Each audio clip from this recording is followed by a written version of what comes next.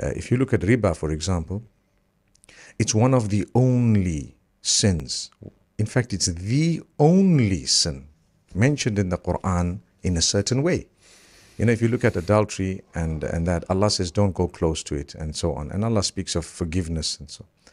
But when it comes to eating of interest and usury, Allah says, whoever is not going to abstain from this, I announce war against that person. There's no other sin where Allah says, I announce war. And the scholars say the reason is you're stealing the money of someone else. You're making the poor poorer and you're making the rich richer at the expense of the poor.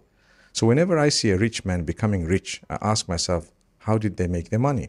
If they made their money on poor people, that money is not always pure money. It depends what they've done.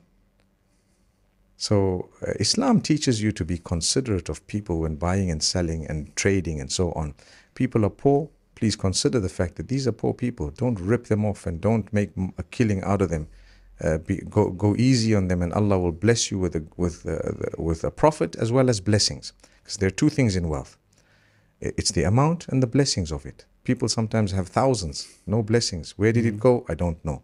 And sometimes people have just a few uh, dollars or pounds and it's, it's blessed. They do a lot with it.